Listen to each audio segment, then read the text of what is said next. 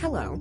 In this tutorial, we'll explain how to use the data type and format properties in the NCSS column info table. The column data type determines how data in the data table will be stored, interpreted, and displayed in output reports and plots.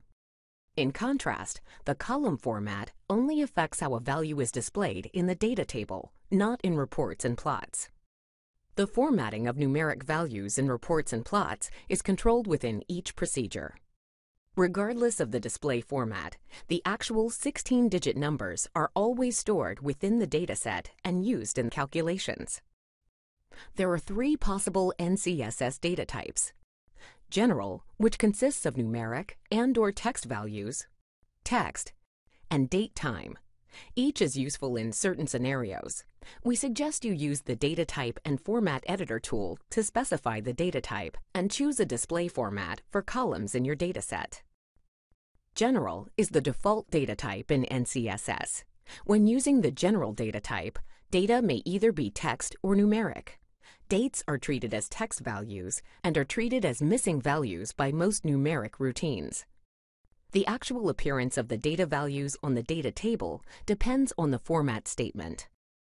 By default, numbers will be displayed with up to 11 digits, depending on the column widths.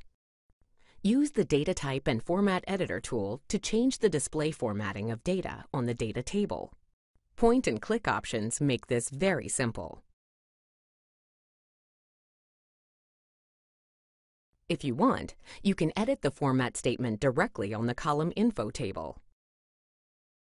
See the Format section of the Data Window Help documentation for a complete list of formatting syntax rules and examples. The text data type is useful when you have large numeric identification values that you do not want converted to 16-digit floating point numbers. For example, if a very long numeric value with more than 16 digits is entered into a column whose data type is general, it is converted to the maximum floating point representation possible for that number. Some of the digits are removed because a floating point number can only store up to 16 digits. The same value entered into a column with data type equal to text will maintain all of the digits because it is stored as a text value. You should be careful when changing the data type of a column that already contains data, since some of the information may be lost during the conversion. If you convert a column by mistake, use the undo function to recover the original data.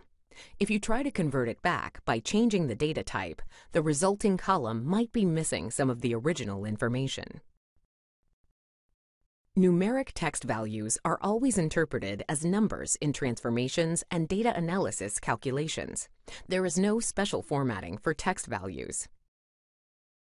The date-time data type is useful when you want to format numeric values as dates. Date-time values are considered numeric in transformation and numeric data analysis calculations. Data values in date-time data columns are still stored with 16-digit floating point accuracy. By default, dates are formatted and displayed as a short date, which depends on your computer's language setting. This display format can be changed using the Editor tool.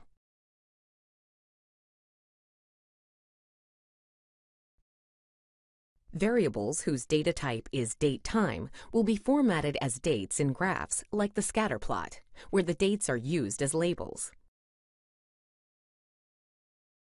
Use the options exposed by the Plot Format button to change the formatting of the actual date values on the plot.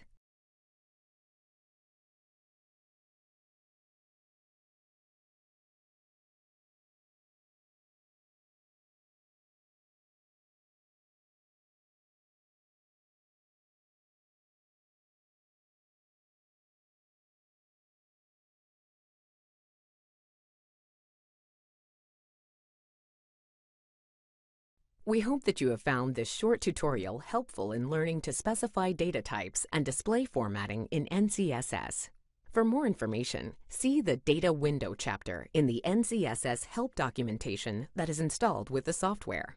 Thank you for watching.